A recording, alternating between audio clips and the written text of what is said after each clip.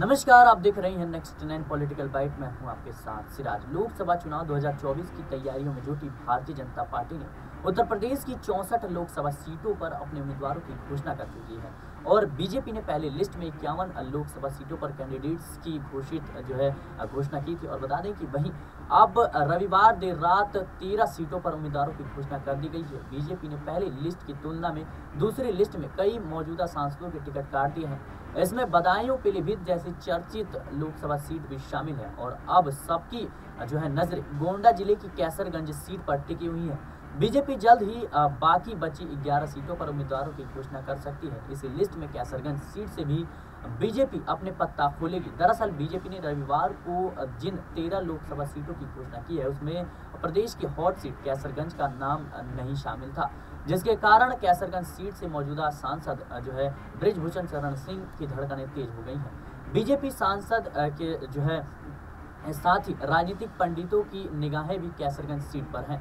बता दें कि क्योंकि ब्रिजभूषण शरण सिंह को लेकर तमाम तरह की चर्चाएँ चल रही हैं, दावा किया जा रहा है कि इस बार बीजेपी बीजेपी ब्रिजभूषण शरण सिंह का टिकट काट सकती है। इसको लेकर यूपी की राजनीति गरमाई हुई है। ब्रिजभूषण शरण सिंह के टिकट कटने के पीछे जो है उनका बयान और महिलाओं का विरोध बताया जा रहा है। कुश्ती संघ अध्यक्ष रहते हुए देश की जानी मानी महिला पहलवान जो है बीजेपी सांसद ब्रिजभूषण शरण सिंह के खिलाफ धरने पर बैठी थी। पहलवानों ने जो है बीजेपी सांसद पर गंभीर आरोप लगाए थे, जिसके चलते उनके खिलाफ मुकदमा भी दर्ज हुआ था और इसके साथ ही कुश्ती संघ के अध्यक्ष पद से हटा दिया गया। बाद में कुश्ती संघ के हुए चुनाव में बीजेपी सांसद के परिवार वालों को हिस्सा न लेने की बात कही गई और हालाँकि इस चुनाव में ब्रिजभूषण का करीबी ही चुनाव जीत गया। तब से कयास लगाए जा रहे हैं कि बीजेपी सांसद का टिकट कट सकता है।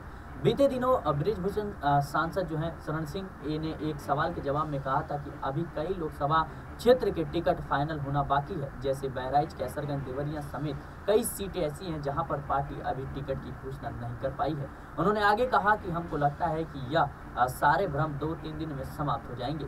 ब्रिजभूषण शरण सिंह ने मुस्कुराते हुए कहा था कि जनता के साथ ही पार्टी, यानी बीजेपी भी मुझे ही पसंद करती है। कैसरगंज के दौरे पर पहुँचे सांसद ब्रिजभूषण शरण सिंह ने कहा था कि मैं सुख के चाहे ना आ पाऊँ, लेकिन दुख के समय ज़रूर पहुँचता हूँ।